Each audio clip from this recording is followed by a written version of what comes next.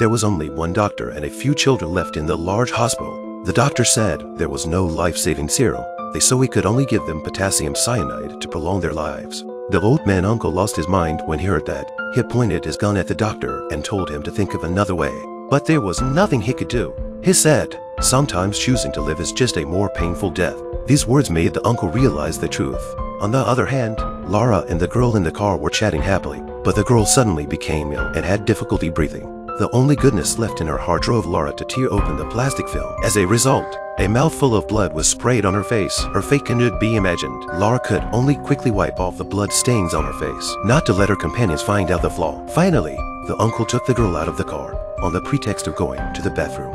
He also knew that Brian and the others would leave them behind and run away. He could only walk and sing to distract his daughter's attention. Father and daughters, two of them, have come to face the time of death. Later, the four young men persons passed by a golf course.